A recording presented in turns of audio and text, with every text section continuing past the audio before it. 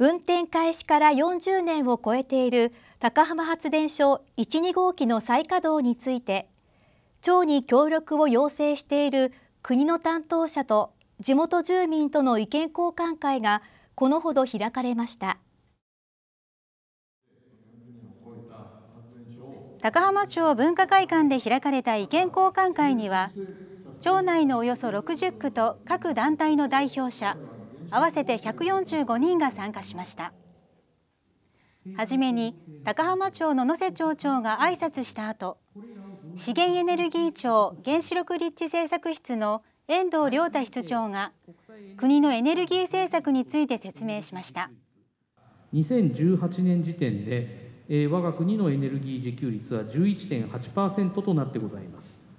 OECD 加盟国の中でも下から2番目。G7 の中では最下位という非常に脆弱な状況になっております。続いて内閣府の万内俊弘参事官が緊急時の避難計画や国の対応体制などについて述べました。避難経路が、え順調に使えるとは限りません。従いまして敦賀市の方にですね、えー、避難していただくことになってございますけれども、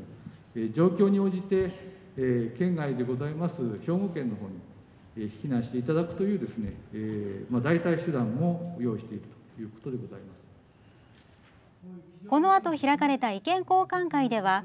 住民から避難路となる県道は自然災害が起きやすい傾斜地にあるが大丈夫かや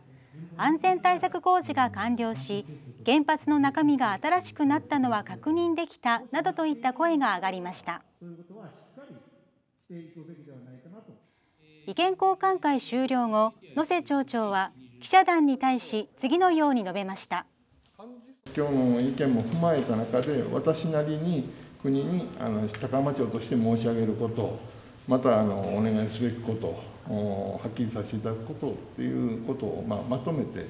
国の方に要請といいますかねしたいと思いますのでそれに対する、えー、それなりの立場のある責任のある方の、まあ、言及をいただくということが、まあ、必要かと思います。